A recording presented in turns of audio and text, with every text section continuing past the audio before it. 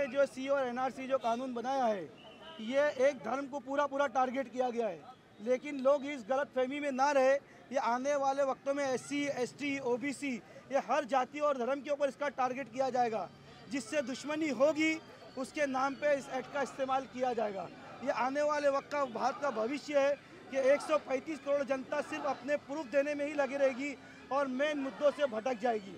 जैसे कि आप देख रहे हैं कि आज बेरोजगारी ज़्यादा है। महँगाई कई दर पे बढ़ गई है। रिज़र्व बैंक का खजाना खाली हो चुका है। डिफेंस के अंदर जो भी आज बॉर्डर के ऊपर है, उसकी उसकी आज हमें इंफॉर्मेशन नहीं मिल रही है। इसलिए ये सरकार जो एक भ्रष्ट और एक जातिवाद और एक कम्युनल सरकार है, जो सिर्फ़ और सिर्फ़ ये हंगामे वाले ऐसे एक्ट बना के लोगों को गुमराह कर रही है।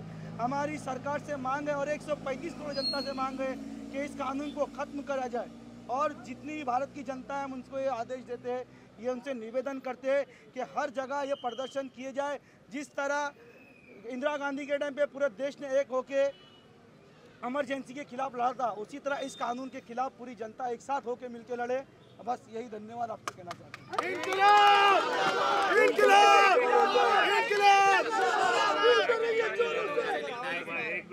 शांति शांति राजेश भाई आप क्या बोलना चाहेंगे? आज काफ़ी तादाद में लोगों ने मोर्चा निकाला अपने आज़ादी के लिए। क्या कुछ ये आ- हमारी आज़ादी के लिए नहीं देश को देश के संविधान को बचाने की आज़ादी है।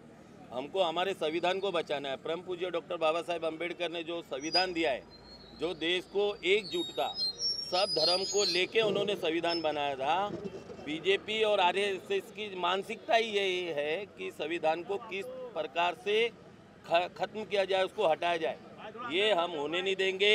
ये केवल मुस्लिमों का प्रोटेस्ट नहीं है, इसमें सारे हिंदू, मुस्लिम, सिख, ईसाई सभी है, क्योंकि भारत के हम नागरिक हैं और मोदी और अमित शाह हमें राष्ट्रीयता ना सिखाए कि हमको हमारा धर्म बताने के लिए हमें हमारा ये बताना पड़े पहचान पत्र।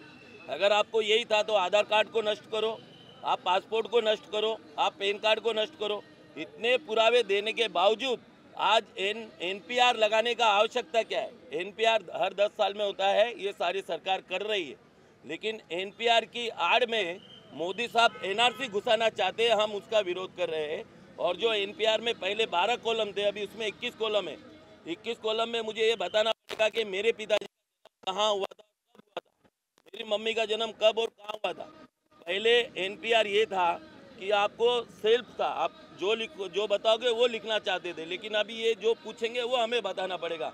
हम इसके खिलाफ यहाँ पर आए हैं और ये यहाँ पर खत्म नहीं होगा। जब तक इस कानून को ये लोग पीछे नहीं लेंगे, जब तक हम सड़कों पे रहेंगे, हम इसी प्रकार से प्रोटेस्ट करेंगे। मेरी आपके चैनल के माध्यम से सारे लोगों से गुजारिश है कि हम ये प्रोटेस्ट जो कर रहे हैं, शांति से करें, किसी भी प्रकार का वायलेशन नहीं करे। पुलिस हमें मदद कर रही है, हमें भी पुलिस की मदद करनी चाहिए। के नरेंद्र मोदी साहब और अमित शाह जो ये कानून लेके आए एनआरसी, इसके खिलाफ में हम लोग यहाँ पे पूरे आज हिंदुस्तान के अंदर ये चल रहा है मोर्चा। ये लोगों को जो जातिवाद कर रहे हैं, जो गंगा जमुना सरस्वती जो अपने देश देश की तहजीब है उस उसको ये लोग खराब करना चाहते हैं। ये बापू का देश है। ये अमित शाह और मोदी का देश नहीं है। ये हमेशा बापू का देश ही रहेगा। और बाबा साहब अंबेडकर का जो संविधान जो ख़त्म करना चाहते हैं ये कभी इनकी सोच और इनकी जो टारगेट है वो कभी होने वाला नहीं है। ये बाबा साहब अंबेडकर का और बापू का देश और ये बापू का और बाबा साहब अंबेडकर का देश रहेगा हमेशा। देखिए इस देश के अंदर इन्होंने बंटवारा करने की फिर से कोशिश करी। सी डबल ए कानून लगाया इन्होंने।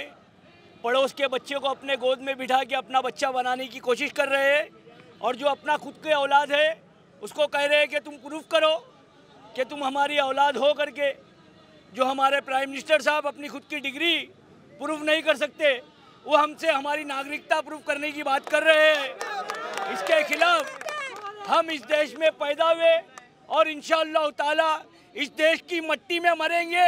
और यहीं दफन होंगे। जितने भी हमारे भाई लोग यहाँ पे जमा है, कोई जातिवाद का भेदभाव नहीं रखते हुए, सब जन इस हुकूमत के खिलाफ, एक आवाज़ में एनआरसी और सी डबल ए के खिलाफ है, और जब तक ये कानून पीछे नहीं होगा इन उसके लिए हम मरते दम तक लड़ते रहेंगे।